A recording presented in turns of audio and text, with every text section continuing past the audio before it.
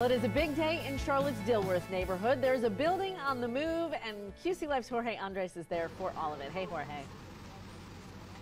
Hey, Kristen, yeah, that's right. Look, the Leeper Wyatt building uh, is moving from its South Boulevard location to its new home on Cleveland Avenue. A lot of different moving parts, if you will, uh, to this. But I want to talk to, introduce you guys, rather, to someone who was behind this whole thing. Uh, Jeff Tonidandel from the Tonidandel and Brown Group. Uh, look, Jeff, here, I know this is going to sound like a simple question, but it's not.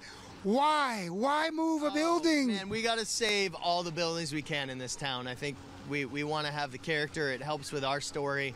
But, I mean, it's just an awesome building. If you ever get inside of it, it's so cool.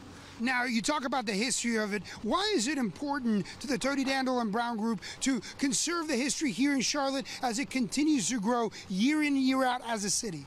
Um, we yeah we think these old buildings just add character and and they're just like super rich and, and special. So we want to we want to save them and we want to put cool things in them and, and let people enjoy them for a long time. Speaking of the cool things in them, this is going to move into its new home on Cleveland Avenue. What are we going to see inside this building once everything's said and done?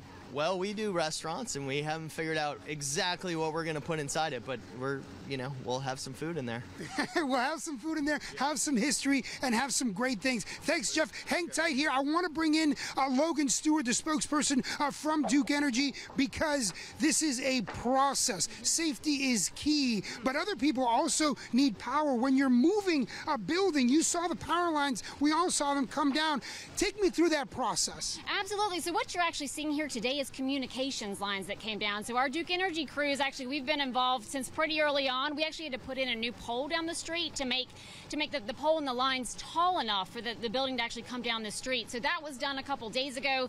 Crews are here today just kind of helping out, but it's communications lines that are really coming down. But you know, as part of that, we wanted just to make sure our neighbors have power today, don't want to disrupt their mornings, of course. And so, you know, we've made managed to keep all that going while we're getting this in here today. It's it's like a Swiss Army knife, uh, Swiss watch rather. Every single piece has to be exact. And Jeff mentioned it. It's about conserving the history in our city, which is why I want to introduce you uh, to Brian Clark, who is uh, with the uh, History and Commission here in Charlotte. Look, this building's been around since 1903. It is a building that is going to remain as as a landmark uh, here when it comes to our city of Charlotte. What does it mean, not just to the city of Charlotte, but really to the history and the Commission of Landmarks? Well, as as Jeff said, um, unfortunately, we've lost a lot of buildings, and Leeper Wyatt store was um, the original grocery store for the Dilworth neighborhood. It served as this community's grocery store for 50 years. The rest of the of the historic commercial district is is gone. That used to serve Dilworth, uh, Wilmore, Atherton Mill. And to save this building, which is the last of its kind in this part of the city, is really important. It adds a lot of character. It helps tell the story of Charlotte which is really key.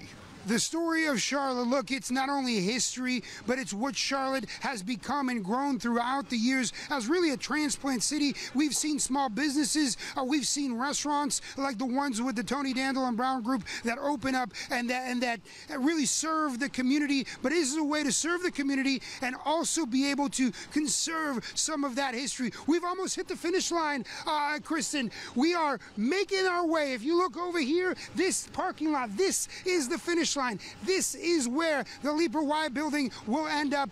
And I tell you what, it's going to be exciting because we will check back at the end of the show. We will be near that finish line. It's so cool, Jorge. And behind you immediately is the restaurant that will be Leluia Hall. They've also renovated that Correct. church. It was Bonterra as well, but that church has a nice history here in Charlotte. The same family uh, has done Supperland, which is a renovated church. So, Jorge, this is fascinating. We'll see you uh, a little bit in just a little bit. All right, a new exhibit with some